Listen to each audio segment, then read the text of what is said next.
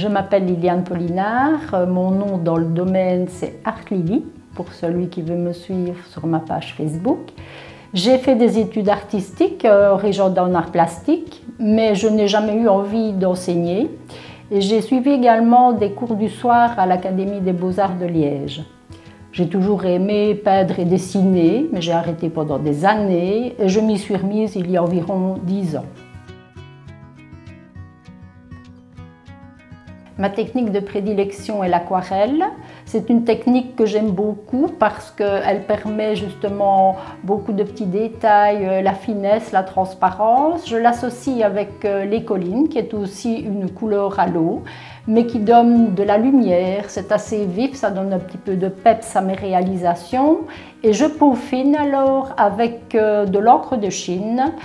Euh, pour les détails, j'utilise évidemment des pinceaux pour les couleurs à l'eau et des plumes pour l'encre de Chine.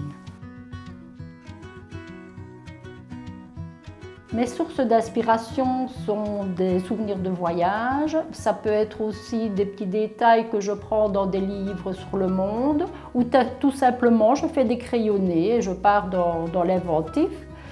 Alors moi j'aime donner du rêve aux gens, d'ailleurs c'est ce que les gens me disent souvent, que mes peintures font un petit peu rêver, donc je donne une petite idée de départ et que les gens ben, imaginent la suite. Je pense qu'à l'heure actuelle on a besoin de s'évader, on a besoin de rêver, euh, que ce soit dans l'action ou dans l'imaginaire. Voilà, c'est mon but premier.